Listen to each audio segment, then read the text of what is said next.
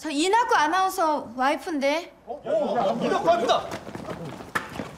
잠시만요. 잠시만요. 태영? 지금?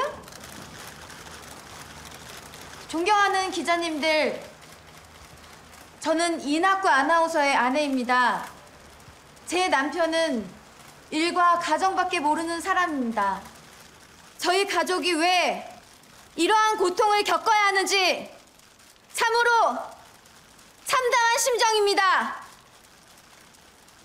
제 남편은 재벌집도 재벌집도 장관집 혼처도 다 거절하고 보잘, 보잘것없는 저와 결혼했습니다. 왜? 왜? 오직 오직 사랑하기 때문에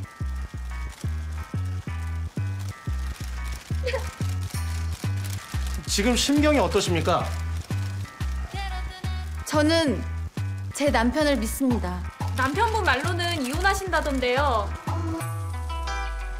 글쎄요. 언젠간 하겠죠?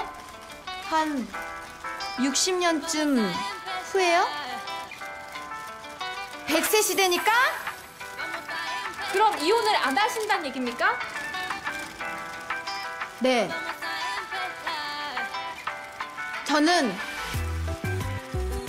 이혼 안 합니다. 절대! 결코! 네버! 불륜을 저지른 남편과 이혼을 안 하겠다는 이유는 뭡니까?